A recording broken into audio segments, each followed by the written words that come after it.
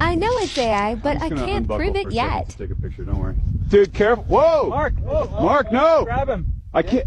He's gone. Yes, you can. There's a Sora watermark. That means it's AI. His lips didn't move while he talked. I'm just gonna unbuckle for a second to take a picture, don't worry. Dude, careful. Whoa! Mark, oh. Mark, no! Did you notice that Mark and the cameraman have the same voice? Wait a second.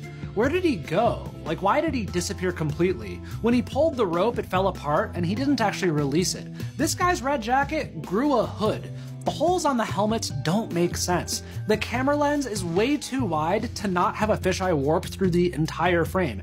Action cams are HD or 4K. That was shot on an AI potato. The cameraman's harness loop is broken. Why isn't he strapped in? Zoom in. The cliff's pixels wobble. It's noisy. The spikes and snow have that wobble too. Wait, oh, the wobble is everywhere. The guy in the red was wobbly the whole time. So was Mark's jacket. That's why Sora is really good at things that look bad, like security cams or body cams. The unsharp and noisy image looks normal in those situations, so when you see those styles, you should look closer now.